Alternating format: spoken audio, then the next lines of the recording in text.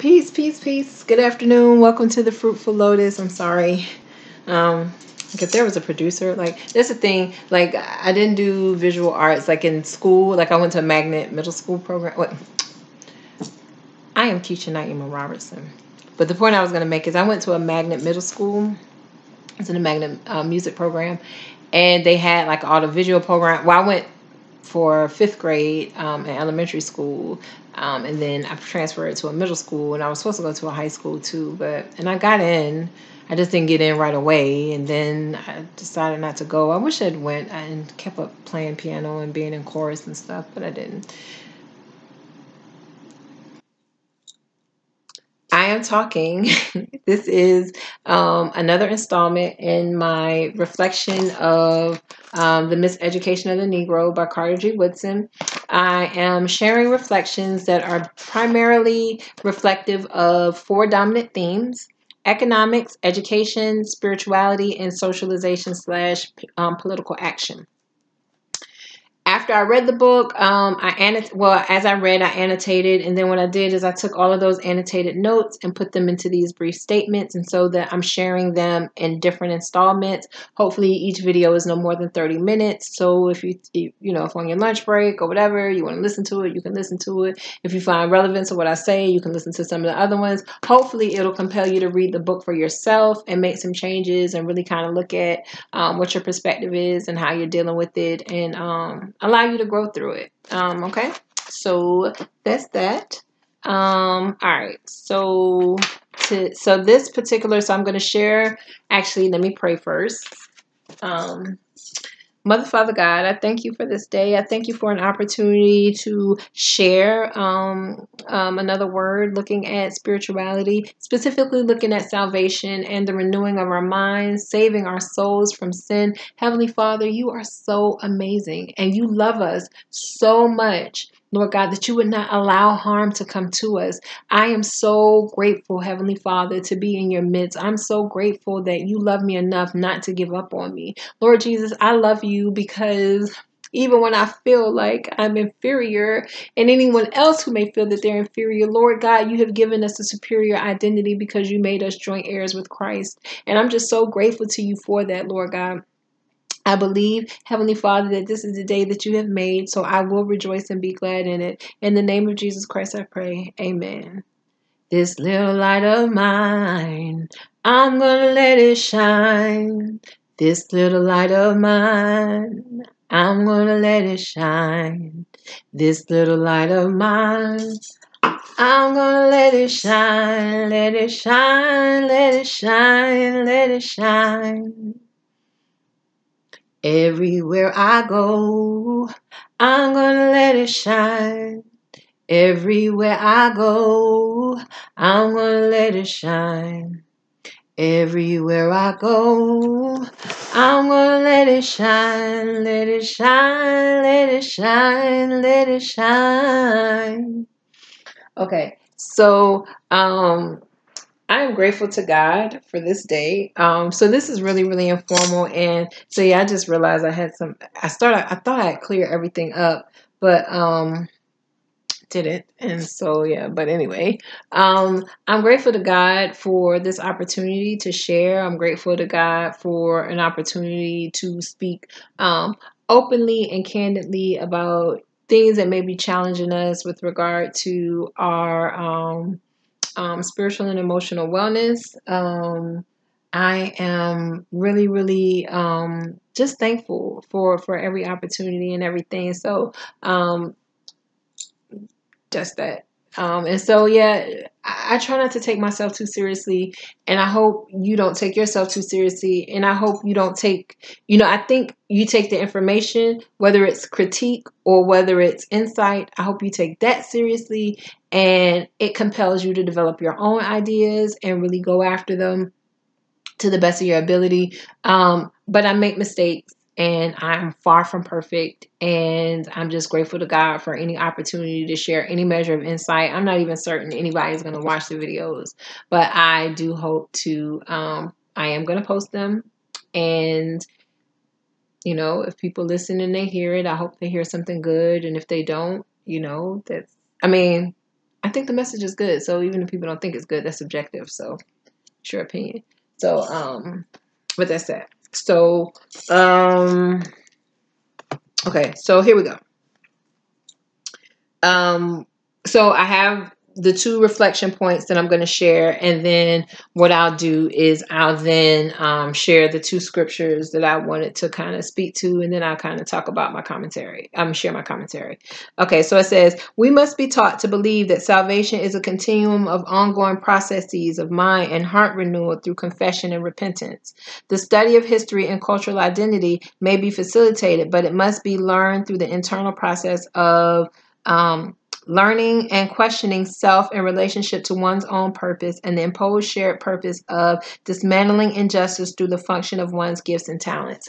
So, the thing is, if you're alive, Martin Luther King says injustice, like if if there's injustice anywhere, there's injustice everywhere. So, regardless of who you are, regardless of what your talents are, no matter what it is, you have an obligation to act to ins- ensure that injustice is dismantled and we are functioning from a corrected perspective. Um, corrected perspective. So, that's what we're called to do. That's that's the call to action that Carter G. Woodson was putting out at this time. Um, he had a second message. He's like the study of history and cultural identity um, may be facilitated, but it must be learned through the internal process. Oh, I already said that. I said both of them. Okay, sorry. So basically, when you talk about my niece has a cat. Um, my niece has a cat, and he's here with me chilling. Um, um, and so my niece has a cat. And I used to think I was allergic, but as long I started doing stinging nettles and I do them each day and I it doesn't really bother me as much as I thought. Well, I think it does still, but I think it's just not in the same way that um not in the same way. So that's an aside.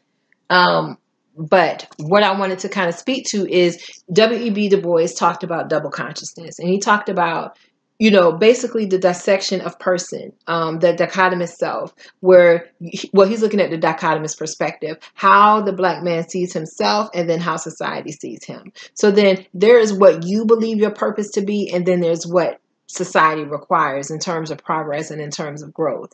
So I think it's that same dichotomous, um, it's, it's still the same dichotomous dilemma, but just in a different context. And so I think that it's important and I think that it's really, really critical to be able to explore, um, explore that kind of understanding and explore that purpose.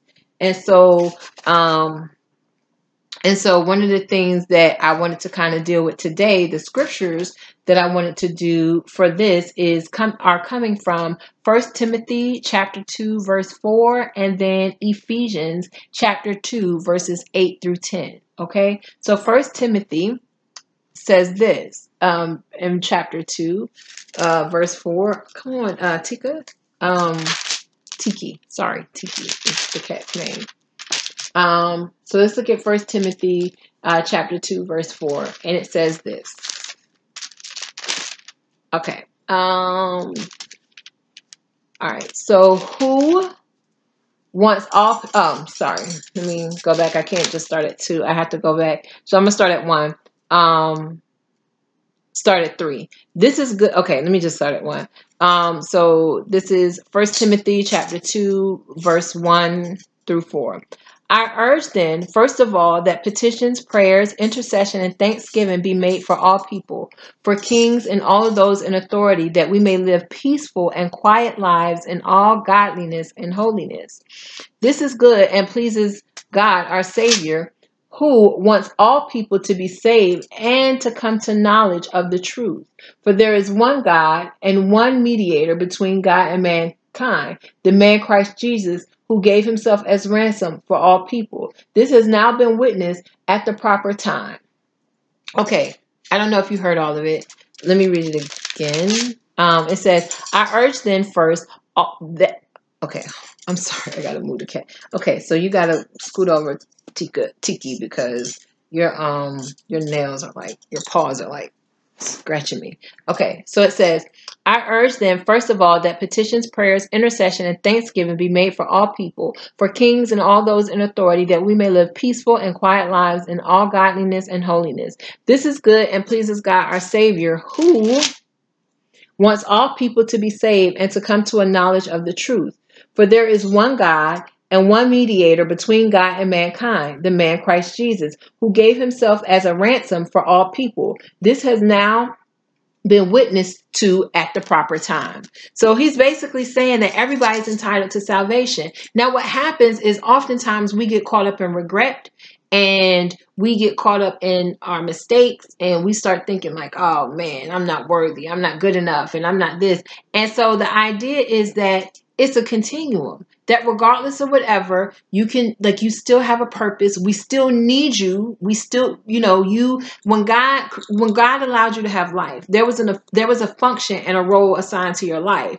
And so regardless of how you feeling in any given moment it's still important that you recognize and accept that you have a critical part to play in terms of manifesting God's vision for the body of Christ. So um when because Carter G. Woodson talks so much, like I mean, so much in the book about the role of the church. I mean, the church has come under such scrutiny. I can tell you that I was one of the um, the purveyors of the scrutiny, and um, oh well, the the church is so big, and it's this and it's that, and it's this and it's that. When to understand its purpose, like what I realized is that I had gotten away from understanding the historical context. Yeah, I know. Okay, you go to church, you do this, but to really understand what the inner workings were, I I didn't. I, I didn't. it was out of ignorance and not having a clear understanding. And I'm not saying this now um, because I actually attempted to go to seminary and all this stuff like that. It's definitely not. Be- it's really improved understanding because in all of it I struggled. And so I talk about like with my writing being able to reflect and see struggle it's not about oh see struggle like in the environment but see struggle with regard to these ideas that i'm grappling with that you know um, having you know having contrary feelings. Like okay yeah I, I, you know i'm supposed to be at peace but i still get angry.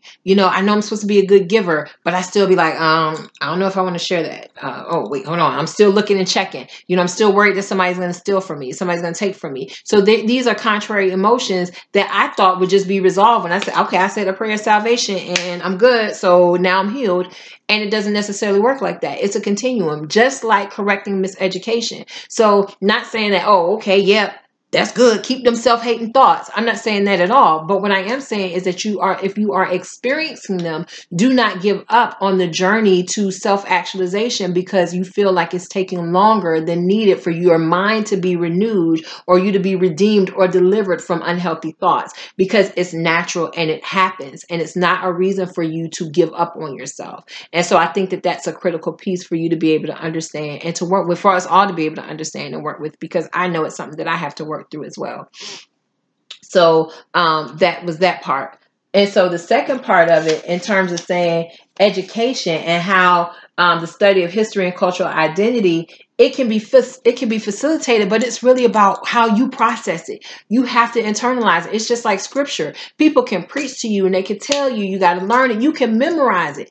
But until you have those experiences that put you in a position that put you in a position where you have to call on it and you need it in order to hold on to get you to the next space a lot of times it's difficult for you to really connect the way you need to. And so that's kind of and that's what i think that it was you know um it, was speaking about. And so when I use that scripture, I was saying like God wants to save you. And so we are supposed to be in prayer. When you see someone struggling, it's not supposed to be just about, mm, well, they struggling. So how they been in church and all this time and they still, and I, cause I've been one of those people. Those ideas still come because it's learned it's, it's learned behavior and i'm human and i'm flawed mm, you've been in church all that time you still struggling with that really Are you, do you really know god do you know who am I to say? Do I know God? You know what I mean? Because I because I know I'm like sometimes I don't feel like my prayer is doing what I'm thinking they need to do because I've been praying over this God and I've been praying over this and I've been praying over this and I still don't see a change. So it's about like reserving and refraining from judging anybody, understanding that we're all on a continuum. And if I see you struggling, rather than sitting back saying, "Oh, this is what you're not doing," and judging you, I'm going to pray and I'm going to do my best to pray for leadership because yeah, we could talk about you know the challenges that President Trump has um, challenges of President Trump, challenges uh, of government in general, governor, whoever. But the idea is that we should be in prayer for leadership. Who, what, what, whoever, prayer for leadership of your household, prayer for leadership of your town, prayer for leadership at your job, prayer for leadership of your city, prayer for leadership of your state, prayer for leadership of our country, prayer for leadership leadership of the world, the United Nations, um, all of those kind of stuff. So all of those things are important, and so I think that that's some of that some of I, I feel like that's what um, Carter G. Woodson was talking about. He was just like, you know, we gotta, you know, the church has to serve this function. You know, it's critical, and we have to check. You know, we, you know, post Reconstruction, it's important to know that yeah, we might not be welcome in some of those spaces, and now that we are, we still have to understand the historical dilemma. If we're in that space and we're not using that space substantively, then we will find ourselves right back into the same thing. So you have to be able to to to function from a historical context with, with knowledge of the historical context in terms of exacting progress. And so in allowing education not to be just what is spewed at you and what people tell you, but allow the education to occur in how you process and then develop your own solutions and your own ideas and your own paradigms and your own worldview. I think that that's some of what's important and that's what um, Carter G. Woodson was really speaking to. Okay, and so the second scripture that I wanted to look at was in Ephesians. It's chapter 2, verses 8 through 10. Okay.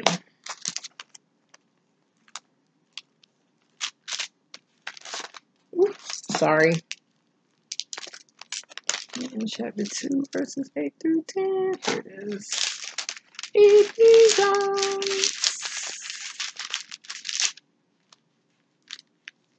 When I tell you my niece has this cat that is the sweetest little kitty. He's just like right there next to you.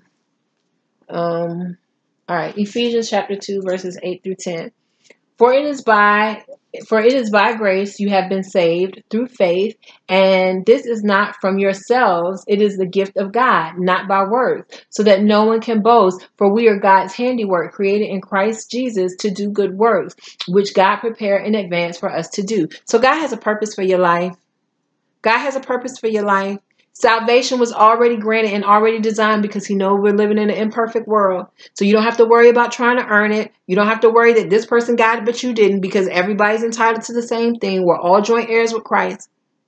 There's a function for you. There's something that God is calling you to do and he needs you to act on it and he needs you to do it. So, um we are made alive. We are made alive through Christ. And so it says by grace. It's nothing that you've done. It is by grace that we are saved. I have this poem and I said, you know, unlawful entry by grace because I it wasn't a planned pregnancy. It wasn't a planned pregnancy. It wasn't a situation that I was just like when I had my daughter. It wasn't that like oh, I'm, it wasn't. But by the grace of God, God has turned that thing around. And when I tell you, it's forced me to look at myself and really deal with some issues and deal with some stuff because everything I check, you know, everything that I try to impart in her or I try to hold her accountable for, I have to hold myself accountable to. So if I'm not holding myself accountable to it, so I have a nine year old daughter. And if I'm not holding myself accountable to the same standards, she's going to grow up feeling like I'm a hypocrite. So if I say, uh-uh, you, you know, find a solution to your problem, work harder, do this or do that, then I have to do the same thing. And so sometimes it's frustrating because, and, and I'm tempted to feel like, oh, I want to give up because, you know, this doesn't make sense, you know, this doesn't make sense to me or, you know, it's not working or it's not this. And, and then the moment I begin to genuinely give up, that means now I'm not just talking about when you get mad, and I quit today. I'm not talking about that. I'm talking when you say, okay, well, I'm no longer concerned. I'm just not going to do it and you begin to crucify your purpose. And not just crucify, I mean persecute and murder or kill or get rid of your purpose, then that is when you blaspheme against God. And so there are some things that are inherently self. So there's a difference between suicide and self sacrifice. All right. So self sacrifice, Jesus was self sac that was self sacrifice. It was a willing a willing surrender of his life for the for the benefit of all of mankind water puts itself in front of the sun to be evaporated. So it's self sacrifice for it to come back and water the grass. and provide and, and, and service function in the circle of life. So some of the sacrifice of self is needed. And even when you talk about Lord Jesus, allow me to decrease, let me kill and, and die to my desires so that the Holy Spirit, the presence of the Holy Spirit can be made more abundant within me and so that's equal so so you know in this we have to make the distinction between you know suicide and self-sacrifice. And i have to do it myself like hey if there's a problem or there's whatever you know i'm accountable. So okay what does that mean? What what have i done? How can i stand you know how can i stand in accountability with regard to moving forward? So um, that's the part of so so that's important. Um, so let's see. I can actually go to one more reflection. Um, and it's this. Cultural education programs must include righteous exploration of mainstream subjects with regard to language literature mathematics and science but must responsibly delve into the study of spirituality, African folklore, philosophy through proverbs, and cultural literature in the modern and postmodern era, um, eras areas. The institutions charged with the facilitation of such learning experiences must be supported and properly managed by way of development and financial self sufficiency to uh, ensure sustained authenticity and subject contact and content and instruction. What he was specifically saying is that even when land grants were offered um, for historically black colleges and universities, or whether they were at um, inclusion for inclusion into predominantly white institutions, what he was saying is that, yo, if we don't, he was like, one of the biggest challenges, like, because he was like, what's the point of having an HBCU? But then the leadership of the president is white. He's like, well, if we are struggling to be self sufficient because we can't raise the money we need to be able to maintain control of our own entity, entities, then we put ourselves at risk to be under the leadership of someone that may not have our best interests at heart, but has the ability to raise the money so that even if it's not a qualitative experience in terms of providing the education we need, because they have the, the access to get the quantitative resources, they stay in power and we you know, inadvertently, I mean, I mean, and we systemically stay in the same position because we are not self-sustaining. And so he was saying, you know, making sure that we develop these cultural education purpose programs with intent and purpose to support them. So as we are producing graduates, our graduates are then giving back making sure that we are, you know, um, serving on the advisory boards, giving feedback, going back, and also making sure that it continues to grow. So that's one of the things that's important. And so, again, growth is a continuum. I think that that's the biggest thing. That's the biggest takeaway. Growth is a continuum. So if you want to dismantle education, I mean, excuse me, if you want to dismantle miseducation, keep growing, keep learning. Lauryn Hill says on her Unplugged album, she was like, Who's the same, who wakes up the same today as they were yesterday or will be tomorrow? You don't because you have to grow. And she's like, She's like, Oh, people like, Oh, the money is changing you, you're changing. She was like, I'm changing because it's a natural part of life. And it's true, you are going to grow. And guess what? You may make mistakes in that growth, and it is okay. It is okay. Repent, receive forgiveness, and keep moving. Repent, receive forgiveness, and keep moving. Repent, receive forgiveness, and keep moving. Because guess what? You are valuable to God. There is a purpose for your life. We need you, and we need you to operate in your purpose. So, therefore, Black students must be developed with culturally centered functionality prior to college in order to seek out, create, and develop what is needed to ensure availability and access to culturally competent programs in and around campuses, whether HBCU, Ivy League, state, or church. So, we have to have that discussion with our children and with our youth before they go to college. Like hey what do you you know what do you feel your function is what do you feel you're good at what are your talents what are your gifts how do you think that can contribute to a, a um, change in society? What do you think you have to give to the world? How do you think you'll be able to make these changes? What do you want to do with your life? And so that way they're entering into, they're matriculating into college, not coming in there looking for a purpose and finding themselves, but having had a purpose. Now, does that mean that how they serve that purpose can't change? Absolutely not if they're artists and they say that, well, my way, I, I am going to, and John Coltrane, I read, I saw this interview of him. It was with Malcolm X, and I think it was on, um, I I think I heard about it or read it on, um, uh, I think I was, it was referred to on WPFW, but then I ended up looking it up and reading it. And he was saying like one of the things, um, he was like, my contribution to the movement is my music you know so for he and miles davis they redefine jazz. Um their ability their work. I mean i was watching this thing uh i was watching this documentary on netflix on quincy jones. Um and it's just truly amazing you know what artists are able to do in terms of speaking to the sentiments and grabbing the hearts of people and moving them. Because there's sometimes that a ballad can communicate an emotion that words that if you just say it with words you miss it. But the feeling when an artist, um, uh, Black Thought has, uh, Black Thought has this lyric on, um, he's like, uh, on on his song "The Water." He was like, "Cause if you real good at making music, the listener feel like he living through it. That's how my nigga do it. I met Slacks back in like '91 rapping, and he talking about his friends and he, his friend that is struggling with an addiction. But he's saying to him, he was like, "Yo, this brother is so talented. He is so amazing. He is so bomb. Like, yo, I look up to you, man. We don't went from here. We don't went to college. We don't went to here. People that slept on our talent and we getting here and we making it and you missing out because you're not getting over your situation. Come on, let's do this. You know, and so I think that that's the thing. So sometimes we get caught up and we got get caught up in a situation and we go to feeling like, yo, you know, I can't really do it, or, or we get distracted. Not even, it's not even about, it's not like he was so strung out like he couldn't do it. It was just like, you know, you get distracted and you start seeing, because for a lot of artists, I think they become disillusioned because they are living their life, they're doing it, and, and, and then it's like, it becomes like, not about the love anymore. It becomes and, and Lauryn Hill on her Lose Myself.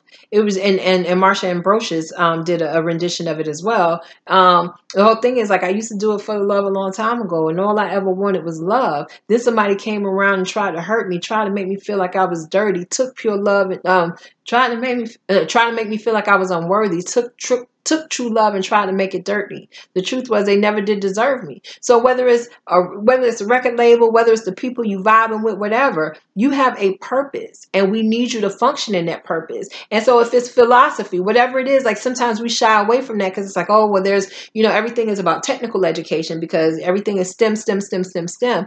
But if we're not looking at the philosophical paradigms that are shaping society, then we are leaving we are leaving ourselves vulnerable to then also still having some sort of intellectual anarchy because there still has to be boundaries and parameters in terms of how the narrative is being directed and what we're talking about and how the dialogue is being engaged. So I think that that was kind of what he was alluding to even back then. I think it's still relevant now. And so that will probably, that will just sum up this particular installment and I will um, be back at you with another video and a little bit. And um and I hope I okay so it's peace and love to everybody. Um I love and appreciate you. I pray that you love and appreciate me as well. There is purpose in all that we're doing. God is good. God is able. And I just gotta say we are beautiful. And I know I said black students, and I'm not shying away from saying black students. I also know that I said the N word. Um, and I know that is can be offensive to some people. I am saying well no i'm still dealing with healing dealing with um dealing with healing within the black community. And not to say that other people can't come in and help administer healing but a part of self-determination is being able to do for self. Dead prez on one of their albums is like we do for self like ants in the colony organize the wealth into a socialist economy a way of life built off the comp- um the common need. All my comrades is ready. I'm just spreading the seed um, and that was on, and it was, you know, now it would be a discussion of what we look at as the school to prison pipeline or the prison industrial complex, um, prison industrial complex. So there are a number of issues we face, we're facing.